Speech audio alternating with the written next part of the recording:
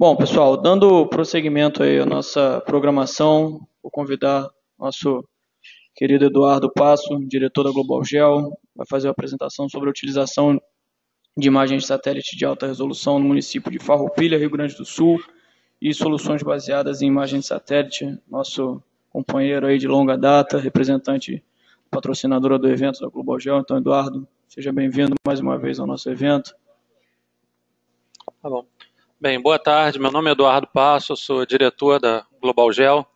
É, queria agradecer aqui ao LabGIS, a pessoa do Rui, do Sapienza, e toda a equipe também do LabGIS, por mais essa oportunidade de estar falando aí no evento.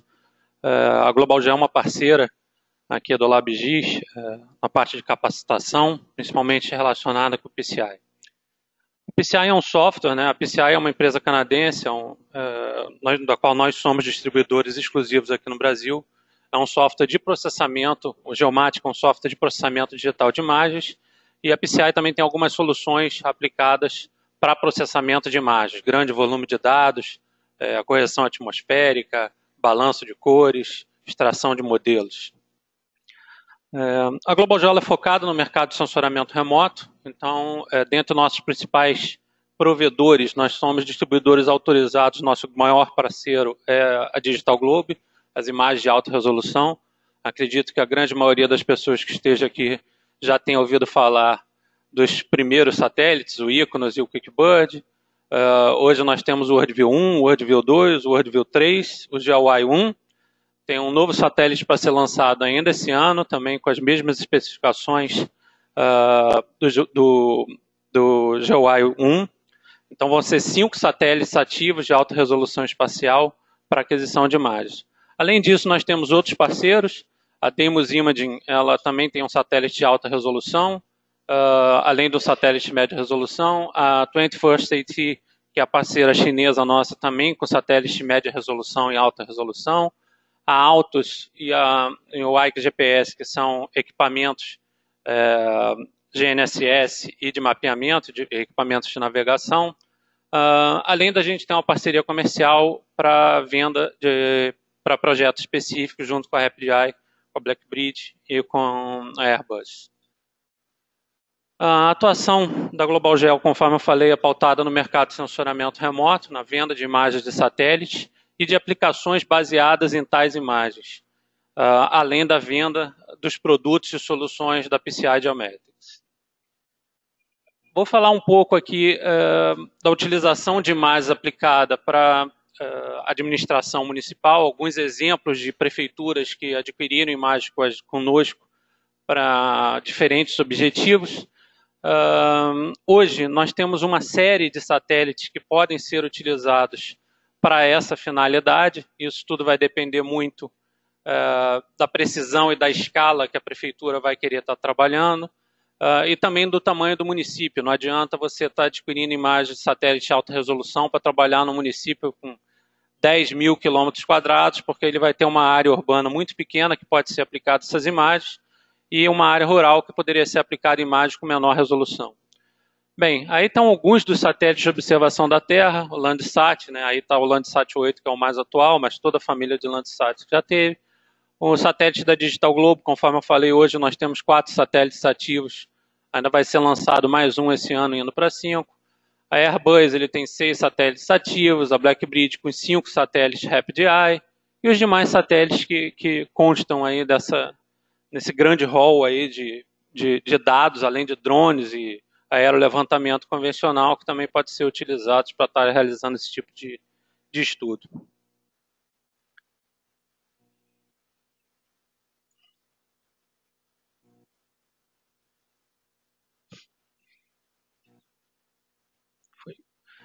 Bem, uh, o foco principal que eu vou dar vai ser na utilização de imagens de uh, alta resolução. Hoje, uh, a gente tem o WorldView 3 já com 30 centímetros de resolução espacial, que é significar que cada pixel da imagem que vai ser entregue, ele vai estar cobrindo uma área de 30 centímetros por 30 centímetros, grosseiramente falando. Mas a gente tem satélites até com 100 metros de resolução espacial. Então, tem um grande rol aí de satélites que podem ser utilizados para para a finalidade uh, do município ou para a administração uh, municipal ou do Estado ou até do IBGE, que assim seja. Uh, cada vez mais, com o maior número de satélites e com a melhor tecnologia neles, a gente tem um menor prazo para aquisição das imagens. É, obviamente, isso vai depender da localização e da época do ano, mas com a tecnologia e com um grande número de satélites, a tendência é que a gente tenha cada vez um prazo mais reduzido para adquirir a imagem. Ou seja, o cliente consegue estar tá, é, recebendo essas imagens no menor prazo. Né? Uh, conforme foi aumentando ou melhorando a, a resolução espacial das imagens, isso também resulta numa melhor qualidade de escala cartográfica do produto a ser oferecido. Hoje a gente já consegue atingir a escala 1 para 2 mil utilizando imagens de satélite de alta resolução, no caso WorldView 3, com maior número de satélites. Isso ocasiona no menor custo, a gente está, além da concorrência do próprio número de satélites, a gente de, de diferentes operadoras, Uh, agora você ainda tem todas as questões dos VANTs, dos drones e do aerolevantamento convencional. Isso tudo uh, ocasionou em que as imagens de satélite no passado tinham um custo mais alto por quilômetro quadrado e agora, cada vez mais, elas estão tendo um menor custo. Uh, a maior disponibilidade de fontes, eu já falei, e a composição com outras fontes de dados. O IBGE está aqui, o grande repositório, grande biblioteca de dados que a gente tem em fontes primárias né, e secundárias. Uh, além de outros dados, dados de elevação, como a gente pode ver, do SRTM, uh, do Aster, cartos, censo, hidrografia, ANEEL, ou seja, uma série de outros dados que a gente pode estar agregando aí no, no planejamento para a administração municipal.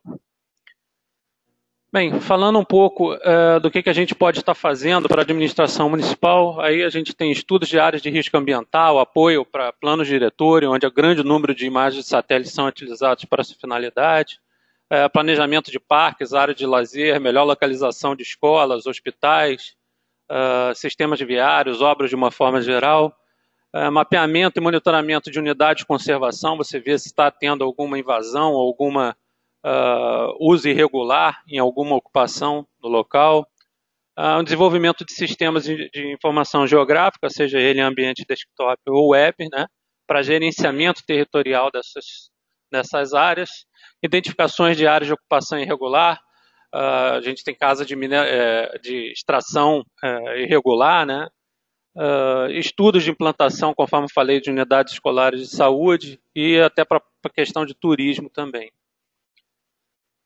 Bem, vou falar de uh, alguns estudos de caso nosso, principalmente de Farroupilha, uh, além de outras prefeituras, Barretos, Belo Horizonte e Gramado. A realidade que o, uh, a apresentação de hoje de manhã do IBAN e também que, que o IBGE fez, que corrobora, é que a realidade que a gente encontra hoje na, na região sudeste, principalmente no sul, é que a qualidade e o número de informações e o número de municípios que têm acesso a uma base cartográfica digital e a um sistema de informação geográfica é muito maior, infelizmente, do que o restante do país. Uh, eu vou estar falando um pouco mais isso na frente, mas eu acho que realmente necessita de um, de um estudo mais aprofundado e de uma melhor capacitação por parte das prefeituras para poderem estar utilizando esse tipo de dado que é fundamental em qualquer desenvolvimento, em qualquer planejamento de qualquer município. Bem, falando um pouco de Farroupilha, uh, o município possui aproximadamente 361 km quadrados. O objetivo lá da utilização das imagens por parte da prefeitura era para análise das áreas de riscos uh, físicos e ambientais e análise de conformidade de dados cadastrais dos imóveis. Então, eles estavam utilizando a imagem também para verificar se a, a as informações que eles tinham de cada imóvel batia com a realidade, ou pelo menos se era muito próximo da realidade que tinha dentro do cadastro. Um, aí estão as especificações das imagens, foram imagens de 50 centímetros, que foram de resolução espacial de 50 centímetros, que foram adquiridas pelo local. Uh, nas oito bandas do satélite WorldView 2, uh, e do WorldView 3, tanto esses dois satélites possuem essa capacidade de adquirir as imagens, além da, da banda pancromática, né, em oito bandas multispectrais, uma escala visual de 1 para 2000. Eles fizeram algumas é, requisições acerca do ângulo de aquisição das imagens e do percentual de nuvens. Essa imagem foi adquirida a partir de programação do satélite e o usuário ele pode definir uh, a, a, angulação em que a imagem vai ser tomada, alguma restrição com isso, quanto maior a angulação que pode ser tomada, ele pode ter uma maior distorção da realidade, então uh, convém, pra, principalmente para a questão cadastral, eles trabalharem com essa angulação menor e também reduzir o percentual de nuvem máximo adquirida mediante programação do satélite. Normalmente, uh, uh, o percentual máximo é de 15% em relação à área de interesse, só que o cliente, mediante pagamento adicional, pode reduzir isso para até 10 ou até 5, e aí tem valores adicionais para essa questão. Para a ortoretificação e mosaico lá das imagens, foram adquiridos 145 pontos que foram adquiridos com equipamentos GNSS de dupla frequência. Eu vou estar mostrando um pouco disso daí. Tá aí. Uh, aí foi o polígono todo que foi adquirido. Cada ponto vermelho desse foi um ponto adquirido, uh, coletado né, pelo equipamento de dupla frequência. Uh, é muito importante que esses pontos eles estejam perfeitamente distribuídos de forma igual por toda a área, por todo o polígono, para não haver distorção do relevo pra, com a imagem a ser utilizada. Então, um exemplo do, da área urbana da imagem, na escala 1 para 40 mil.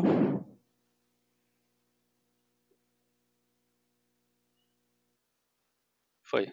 A composição com infravermelho, também na mesma escala. Uma imagem já na escala 1 para 10 mil. Eu peço desculpas, ficou até um pouco escura a imagem aí, mas. Também com infravermelho, na mesma escala. Um exemplo já na escala 1 para 5 mil. Ele também com infravermelho. Já na escala 1 para 2 mil.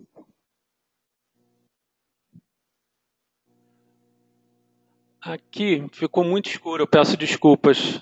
Tem como direcionar o laser? Mas aqui, um pouco acima da, desse ponto central mais claro, que é uma edificação, Uh, o detalhe da imagem que vocês podem ver até identificar, isso daqui é uma linha de transmissão. São os cabos de uma linha de transmissão. Aí ela na composição infravermelho. Outro exemplo de imagem. Bem, essas imagens para Farroupilha elas foram adquiridas em menos de dois meses a aquisição da área toda dentro das especificações solicitadas. Um, esse projeto de Barretos, isso já foi uma área bem maior. Barretos tem aproximadamente 1.566 km. Foi um projeto é, em que o objetivo era diversas atividades desempenhadas lá pela Secretaria Municipal de Agricultura e Meio Ambiente, mas é, com foco no levantamento e planejamento de, de nascentes, matas ciliares e cobertura vegetal do município. Esse foi um projeto que foi com recursos do FEIDRO, o FEIDRO, que é um fundo estadual de São Paulo, que repassou essa verba para o município para atender isso. Por que isso? É, São Paulo, no, no, ano retrasado, no ano passado, vem sofrendo bastante com a questão de, de falta de água e está tendo um estudo sério no estado para ver de que forma que eles podem compensar isso com a própria atribuição dos municípios nesse sentido. Então, essa, esse levantamento e, e, o planejamento de nascentes se deu muito nesse sentido.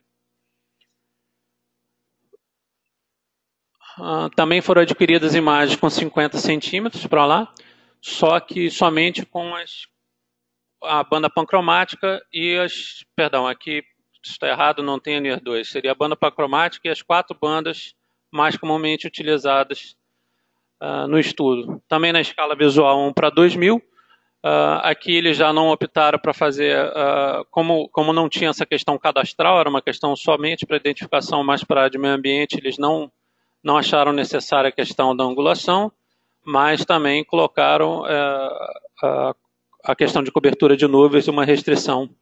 Aí. Foram, foram uh, utilizados dados da SRTM e também arquivos auxiliares aí do próprio satélite para a das imagens. Um exemplo na imagem, toda essa área no polígono vermelho é a delimitação exata do município. Você vê que ele tem uma área urbana bem menor, mas a área rural é bem grande. Esse é um projeto que ainda está uh, em realização lá pela Global Gel, é com a Prefeitura de Belo Horizonte. São 331 quilômetros quadrados lá para o município inteiro e é uma análise multitemporal das áreas de riscos físicos e ambientais lá para o município. A, a, própria prefeitura disponibilizou uma série de dados aí para a gente estar tá agregando uh, tanto uh, no estudo quanto no sistema de informação geográfico que vai ser disponibilizado. Aqui as imagens já foram adquiridas com uma resolução melhor, de 40 centímetros, e também teve uh, uma, restri uma restrição maior com a questão da angulação e do percentual de nuvens. A ortorretificação foi realizada com uma base disponibilizada pela própria prefeitura, lá pela Prodabel, eles já tinham esse dado, para a gente poder estar tá trabalhando. Um, essa foi uma primeira tomada que foi feita no dia em, em, março de 2015. Ao todo, são seis tomadas lá para o município ao longo de um ano. Foi, realizado o serviço. A última tomada está sendo entregue agora. Um, tem uma questão principal. A gente teve um cuidado muito grande com a ortorretificação das imagens, porque uh, a, a condição de relevo principalmente no, no, na área norte uh, de Belo Horizonte, que é divisa com Nova Lima, uh, ela tem uh, um relevo muito acidentado. Bem, e esse último projeto, essa imagem foi entregue hoje para Gramado, foi um estudo somente para a área urbana, para 100 km quadrados, para expansão, uma, uma, análise da expansão urbana da, do município. Aqui já foram utilizadas imagens com 70 centímetros. É importante mencionar que na Digital Globe você pode estar escolhendo entre 70, 50, 40 e 30 centímetros a resolução espacial. Obviamente, eles têm custos diferentes para cada uma dessas imagens. Uh, cobrindo somente a área urbana do município. Bem, no caso lá de Belo Horizonte foi uh, está sendo também realizado um sistema de informação geográfica para entrega. Eu acredito, eu não tenho essa informação ainda, a confirmação dessa informação, mas acredito que esse sistema vai ser disponibilizado para o público. As vantagens do uso né, do SigWeb, eu não vou estar tá falando aí todas, mas a maioria das pessoas que está aqui já tem noção a realidade atual é que isso tem que ser mais do que disponibilizado, tem que fazer parte de uma informação básica do município. Alguns exemplos aí de para que está fazendo a realização do SIGWeb de, de acompanhamento no planejamento urbano.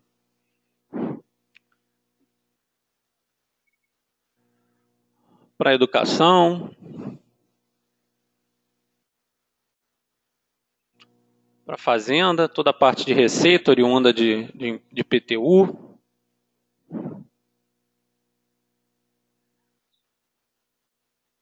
Para a saúde, como melhor orientar toda a campanha.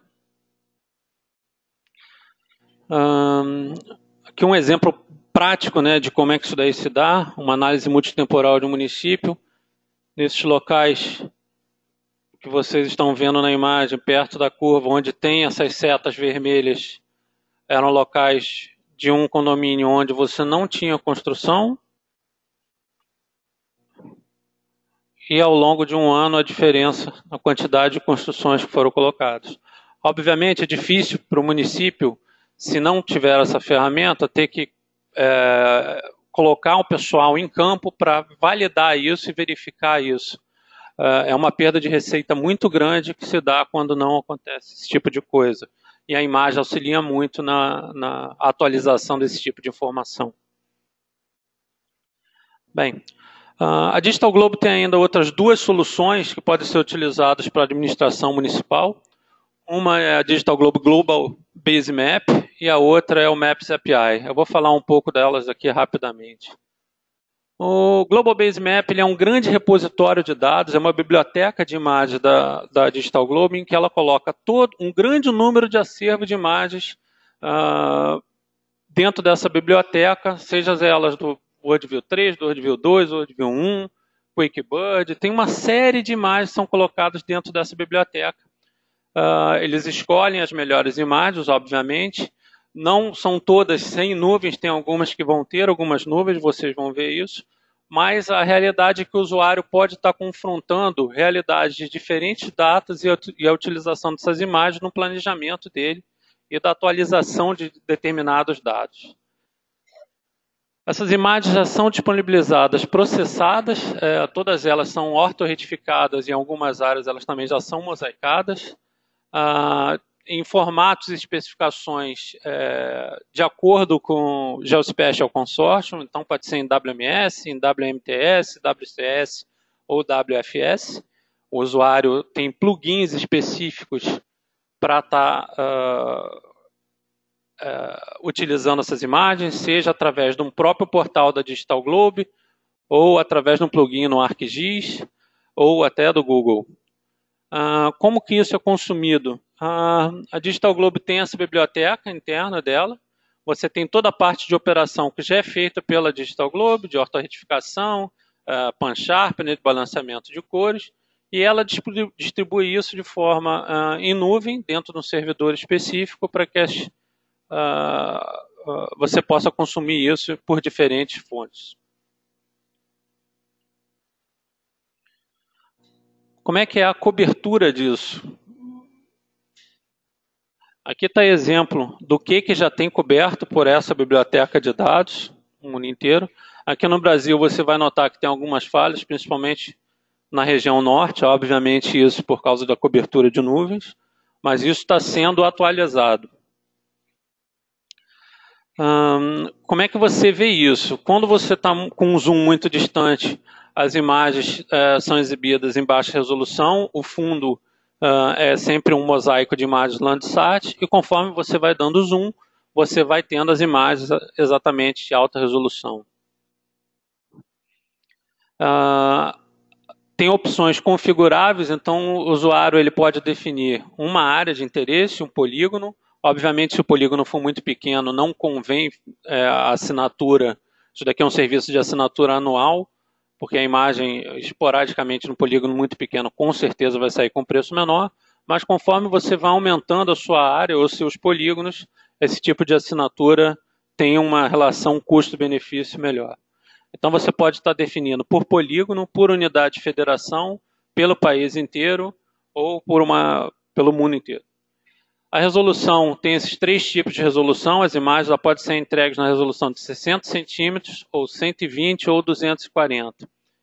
Aqui a gente chama de update. Você pode ter um update somente anual, ou seja, você adquirir aquele serviço, quando você renovar ele no próximo ano, ele volta a ter a imagem de um ano para trás a, a partir daquela data, ou semestralmente ou trimestralmente. O número de acesso seria o número de usuário, tem diferença de valores, em termos do número de usuários, se o uso da imagem vai ser apenas para visualização ou para visualização e download, e se o acesso vai ser online ou offline. Então, isso tudo daqui é configurável, uh, o cliente pode estar delimitando, obviamente tem diferentes valores, se aumentar a resolução fica mais caro, se aumentar o número de usuários fica mais caro, mas o cliente tem toda essa opção de poder estar configurando essa solução, esse aplicativo. Uh, o acesso, ele tem um plugin pelo Google Earth, é um dos tipos de acesso que tem. Ou pelo ArcGIS. Ou direto pela, pelo My Digital Globe. É, isso é um portal em que o usuário ganha um, uma chave, um nome de uso, um, um username ou uma password para poder estar tá poder tá acessando ao, ao, que foi é, restrito para ele. Uh, eu peguei aqui esse exemplo. Isso daqui é é uma, imagem de Cabo Frio. Aqui é o shopping lá de Cabo Frio. Quem conhece um pouco, aqui é a ponte que vai lá para Peró, Jeribá. Então, isso daqui é uma imagem de abril de 2014. Aqui embaixo ficam todas as imagens que eu vou ter do local. Eu peguei uma específica de abril de 2014. Um exemplo de zoom dessa mesma imagem. Bem, e aí eu posso ver o seguinte: em abril de 2014, a situação desse local era essa. Em fevereiro de 2014 era essa, quantidade de imagens que eu vou ter do local. Em novembro de 2013 era essa. Como eu falei, você vão algumas imagens que podem até ter alguma cobertura de nuvem, mas ainda dá para verificar. E a, a, surpresa, já em setembro de 2012 você não consegue enxergar o shopping. Mas olha que você já tem um número bem expressivo ainda de, de edificações aí nesse, nesse loteamento. A imagem de julho de 2011 também são disponibilizadas as imagens do WorldView 1, por isso essa imagem pancromática. Em agosto de 2010. E em setembro de 2009. Olha, se a gente pegar a imagem de setembro de 2009 até 2014, você vai ver que aqui estava o início de loteamento sem nenhuma edificação. E se eu voltar para a imagem de 2014, a diferença da quantidade de edificações que teve nesse loteamento, inclusive do próprio shopping. Isso daqui é uma fonte de arrecadação para o município, em cadastro, para todas as concessionárias, que pode ser utilizada aí para a administração municipal. Deixa eu pular. Aqui estão todos os metadados da imagem, ele passa a data, uh, qual foi o sensor, que tipo de produto é, elevação, todo, todo o metadado da imagem fica disponibilizado junto através desse aplicativo também.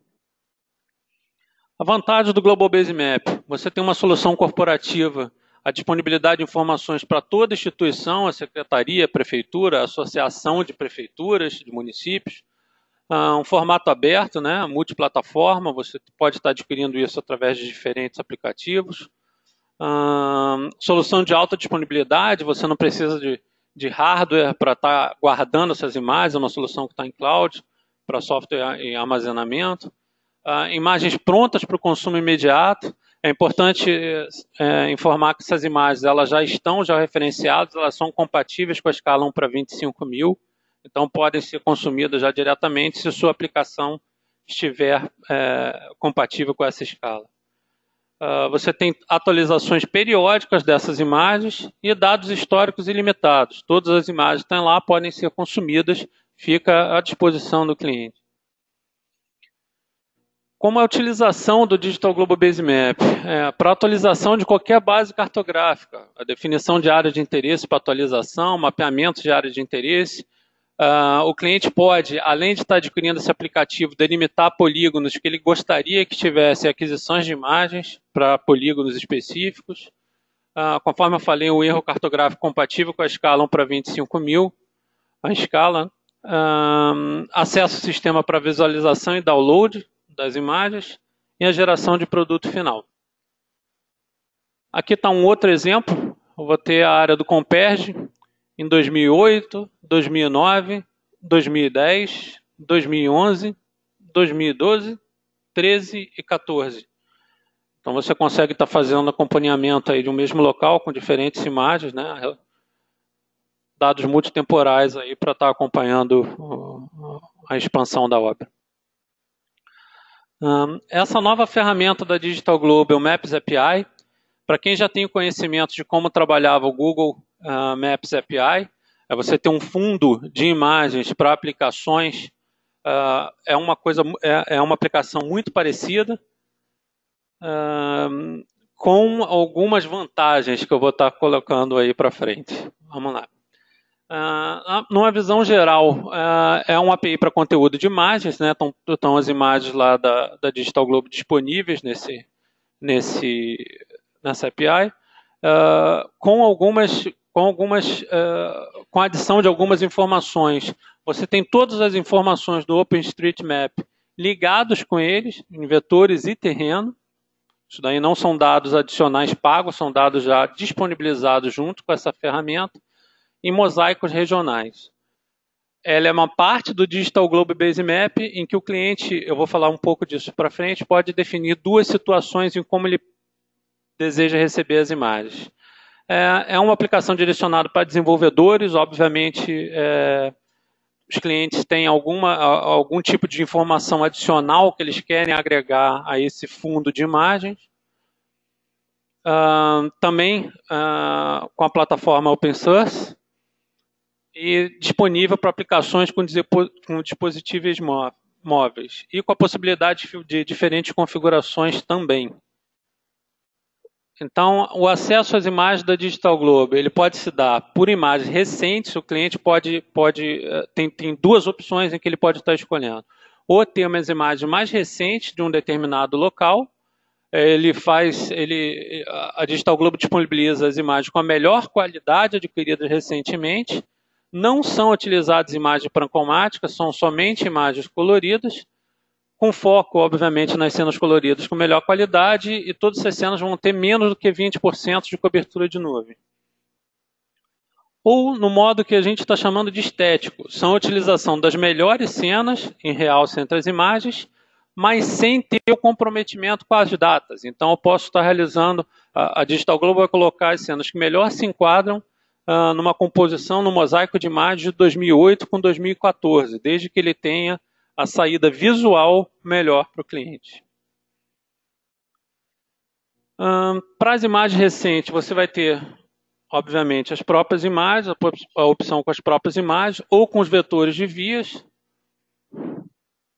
Na estética, a mesma coisa, aqui você já nota que ela tem um tratamento de balanço de cores de realce melhor.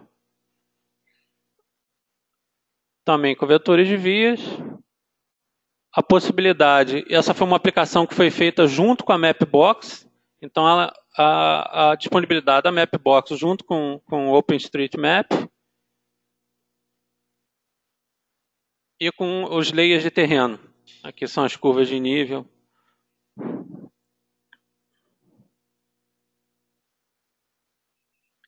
Conforme eu falei, é uma aplicação que é direcionada para desenvolvedores, então ela tem é, interação com as principais bibliotecas de mapas aí populares, uh, com open source.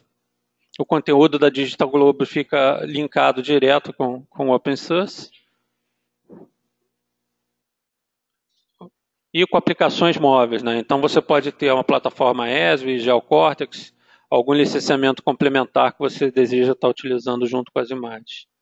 Ah, foi desenvolvido na plataforma no Mapbox, de mapeamento para desenvolvedores, com fácil integração. O acesso e o uso, vamos lá, você tem a capacidade só de visualização ou de extrair informações com base na imagem, você pode estar realizando isso e, na melhor delas, até fazendo download das imagens também. Uh, aplicações, ele vai ter uma, uma, uma, possibilidade de ser gratuita, vou estar mostrando um quadro aí para frente, uh, paga ou uma aplicação interna do cliente. Quando a gente fala paga, é algum aplicativo que o cliente desenvolva, que ele, uh, utilizando esse fundo de imagens, ele, ele esteja num portal em que ele esteja vendendo alguma informação dele. Bem, aqui tem as vantagens do licenciamento. a Digital Globe ele deixou toda a parte de copiar, guardar, arquivar, navegação, despacho, rastreamento, de extrair dado. Uh, você tem limitações nas outras plataformas mediante as licenças de uso dessas plataformas e que você não pode estar realizando algumas uh, derivar informações ou extrair informações e o da Digital Globo, tudo isso é possível. Como é que isso funciona? Você vai ter o conteúdo da Digital Globe trabalhando em, embaixo da plataforma da Mapbox de hospedagem, ou seja, se o cliente quiser adicionar algum dado uh, raster ou vetor ou qualquer outra informação que faça uh, um link com a imagem, ele vai estar trabalhando embaixo dessa plataforma da Mapbox para a aplicação final dele. Uh, o que é importante, para a imagem recente, o Brasil vai ter uma atualização anual, teve agora no Q1 uh, de 2016, e também na estética também teve um no Q1 de 2016.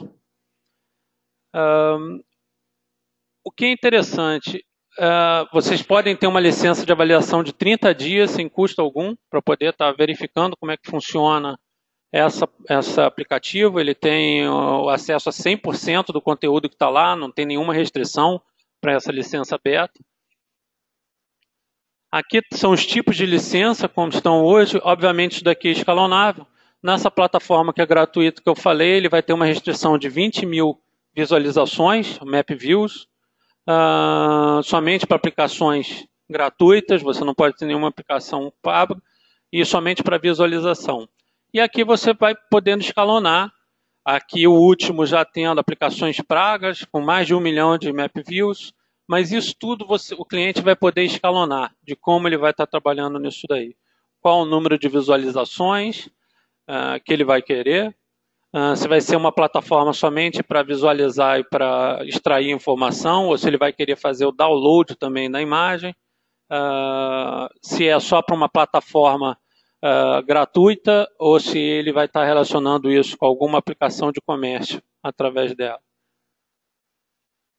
Uh, por último, uh, o que eu acho que a gente teria né, para a administração municipal, foi até um ponto após o almoço, eu estava conversando com o pessoal do LabGIS, é que uh, tem que ter uma maior difusão e obrigatoriedade, acredito eu, desses dados por parte das prefeituras. Hoje a gente ainda vê um número pequeno de prefeituras conforme na palestra de hoje de manhã do IBAN, que do Henrique do IBAN mostrou, apenas um quinto das prefeituras tem uma base cartográfica digitalizada. Isso é muito pouco para a realidade brasileira. Uh, a gente tem cada vez mais uma redução de custo com, e um maior número de sensores que podem ser utilizados para esse fim. Aqui no, no, estado do Rio de Janeiro, você tem inclusive sites em que você tem ortofotos do estado que podem ser utilizadas. Bem, as imagens do Rapid Eye do geocatálogo do IBAMA, uh, imagens Free, Landsat, Sentinel 1 e 2, aqui tem o Cibers também, tem o IRS, uma série de imagens são disponibilizadas pelo INPE. Mas o que eu acho que é o fator predominante aí que, uh, e que falta é isso daqui. Uh, infelizmente, a gente vê algumas prefeituras, principalmente das capitais, em que você tem uma melhor infraestrutura, uma melhor capacitação, mas o grande número de, de, de, prefeituras, infelizmente, não tem técnicos, não sabem como utilizar as geotecnologias em prol do município. Bem, era isso que eu tinha para apresentar. Eu agradeço mais uma vez aí pela, pela LabGIS.